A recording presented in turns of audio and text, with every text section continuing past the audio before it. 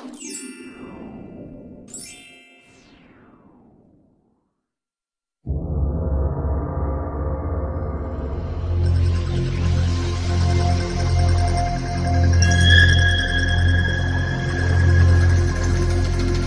has been a symbol since the beginning of time and is still used as a significant form of energy as it can provide benefits for the people.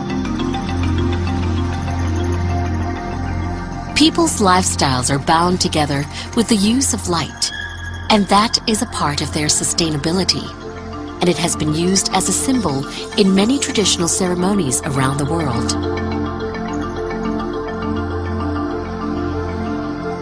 Various traditions that use light in those ceremonies have separated to follow the beliefs of each society.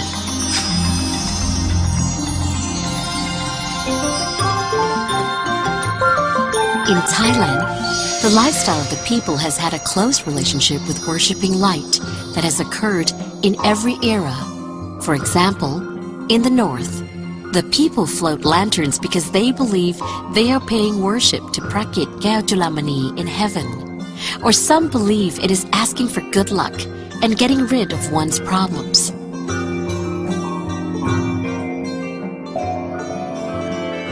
In the northeast or Isan, there is the illuminated boat tradition that comes from the belief of paying worship to Lord Buddha's footprints on the bank of the Narmada River in India.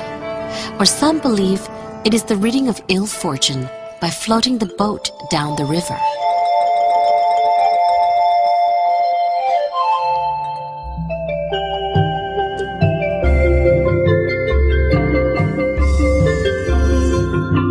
And in the upper central plains, there is the religious belief that Loi Krathong is the floating of various forms of bad luck and making a wish for something good.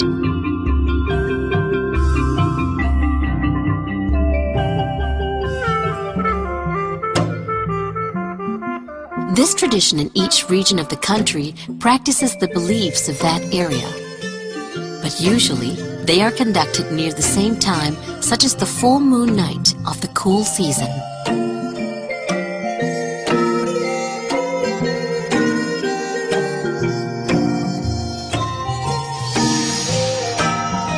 The Tourism Authority of Thailand has organized an activity for the promotion of tourism and the tradition of Loi Krathong As part of the Visit Thailand year, waterborne festivities of the Grand Loi Krathong Festival will be conducted at six locations. These include the colorful Grand Loi Krathong Festival in Bangkok. Experience the beautiful grandeur of the various fun activities along the banks of the Chao Phraya River. See the sparkling decorative lights on historic buildings together with related activities of the festival at various temples, government offices, and along the rim of the Chao Phraya. And throughout the month of November, experience the colors of the Chao Phraya through the riverine lifestyle and culture, as well as the decorative lights on the old buildings along the Chao River. Enjoy the fun of this festival in various ways, such as marine tourism up the following of the King's Route on weekends. Dine in the bright evening atmosphere on board a boat. Drink into the night at a hotel or Thai restaurant along the Chao. Yiping, or the full moon night of the people of Lan Na, is also the same day as the full moon night of the 12th month of the Central Plains that occurs in the late part of the rainy season and beginning of the cool season. The climate is pleasant and the skies are clear. One feature of this tradition of the people of Lan Na, apart from Loi Krathong, is the lighting of lanterns and floating them into the sky. The people believe that they are paying worship to Prakit Gyaljulamani in heaven, or some believe it is asking for good luck and getting rid of one's... The festival is unique, as it's different from other Loi Krathong festivals. This is because it uses coconut shell for the krathong. The reason that the people of Tak province do this is because they eat miang, a snack made from coconut flesh, as well as make it as a major local product. As the shell is left, they use it as a krathong for the Loi Krathong festival. The little lights are released to float like a glittering string of beads meandering along the Ping River. Is a traditional ceremony of light that originated during the time Sukhothai was the capital.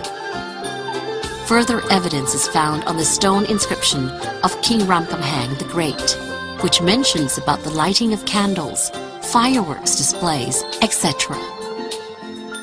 And it was a major festival of the Sukhothai kingdom 700 years ago.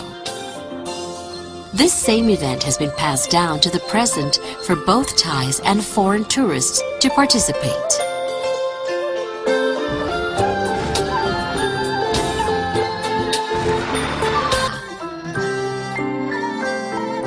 There is evidence from a letter from the Ayutthaya period that mentioned about the royal ceremony of floating lanterns that were released until the time of the destruction of the city.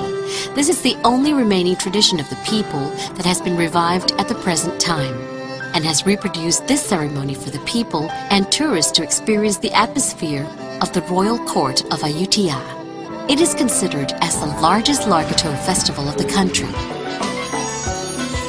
even though time moves on, this traditional ceremony has still remained a part of Thai society and can create happiness through this beautiful art that alone is unique and has been passed on to each era to be a significant traditional festival of the country.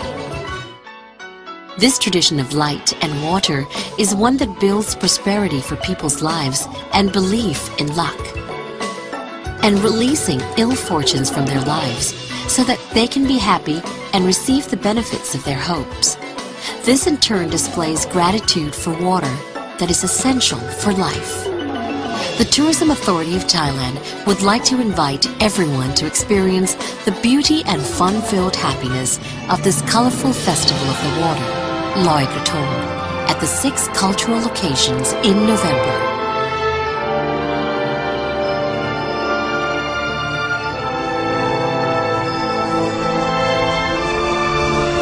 For further information, please call 1672 or look on the website worldwideweb.loikrathong.net.